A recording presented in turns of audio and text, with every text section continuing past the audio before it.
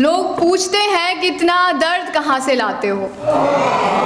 लोग पूछते हैं कितना दर्द कहाँ से लाते हो? कैसे बताएँ कि खुद को बर्बाद किए बैठे हैं? जो रोज अंदर से जर्रा जर्रा तोड़ती है, किसी अज़ीज़ की याद लिए बैठे हैं। इन हँसते हुए चेहरों से कहाँ अंदाज़ा लगता है साहब? इन हँसते हुए चेहरों से कहाँ अंदाज़ा लगता है साहब? ये मुस्कुराते हुए लोग कितनी अधूरी मुराद लिए बैठे हैं। हर हर महादेव सभी को, मेरा नाम संध्या यादव है। तर्ज सुखन को बहुत बहुत धन्यवाद मुझे मंच प्रदान करने के लिए। तो हम शुरुआत करते हैं अपनी नज़म की। कि कभी गर मिली फुर्सत तो तेरे गुनाहों का हिसाब लिखेंगे। कभी गर मिली फुर्सत तो तेरे गुनाहों का हिसाब लिखेंगे।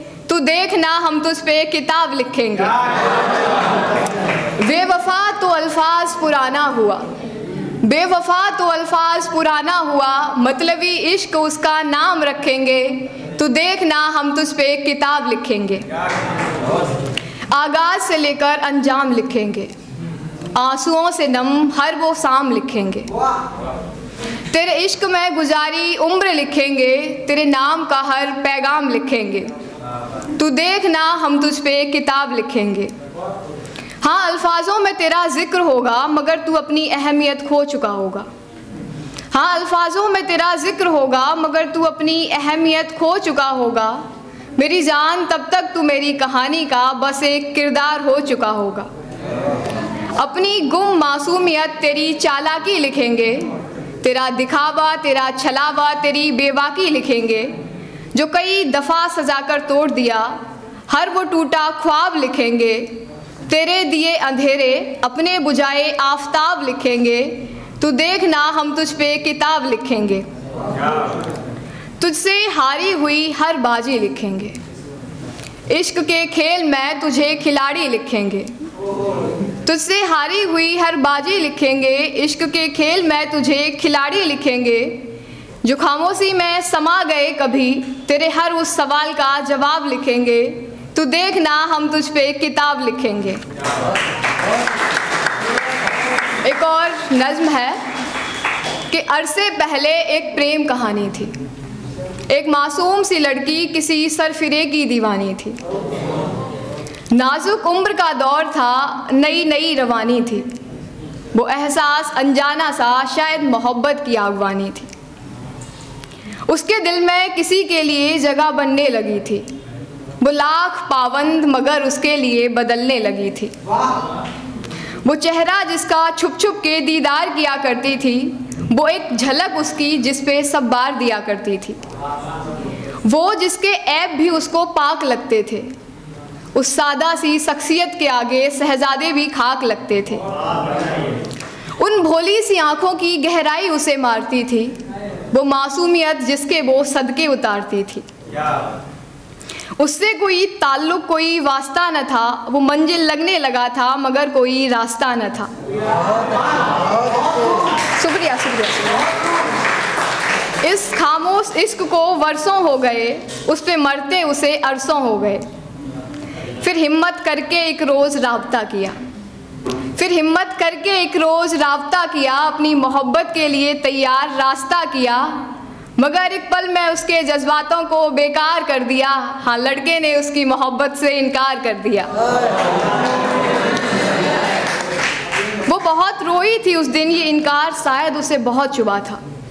तकलीफ़ हद से बढ़ी थी, दिल अंदर से दुखा था।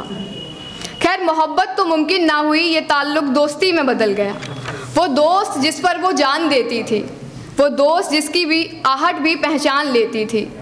वो दोस्त जो उसकी दुआओं में रहता था, मोहब्बत एक रोज़ उसे भी होगी, उसका दिल कहता था। मगर तकदीर को कुछ और ही मंजूर था। उस दिल को फिर से सज़ा मिली जो बेकसूर था। उसकी हर ख्वाहिश अरमान को अंदर से तोड़ गया।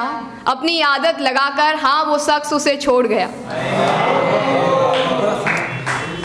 आखिरी बार बात करने को भी गिड़गिड़ाती रही। वो बिंदास सी लड़की बेबस सी नज़र आती रही। कई दिन बेचैन रही, कई रातों तक सो नहीं पाई। अपना ही कसूर ढूंढती रही, कभी उसके खिलाफ हो नहीं पाई। बहुत वक्त लगा उसे इस बात पर यकीन करने में। मगर उसे तरस नहीं आया था ये गुनाह संगीन करने में। सुना है अब वो लड़की दिल की बातों पर यकीन नहीं करती है। सुना है अब वो लड़की दिल की बातों पर यकीन नहीं करती है, सबसे हंस के मिलती है, किसी को करीब नहीं करती। है